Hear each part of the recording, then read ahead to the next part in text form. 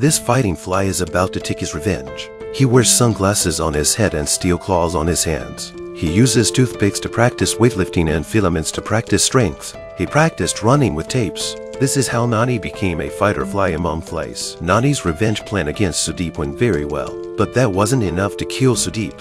He saw a small cannon in Sudeep's house. He experimented and found that the cannon could easily pierce cans. So Nani started to carry gunpowder again, but he always failed to find the ideal angle and had to return without success. Sudeep was also exhausted by the flies. He sealed the exits of the house. Anyone entering the house had to go through both insecticide and heat detection. Nani couldn't get to his enemies again.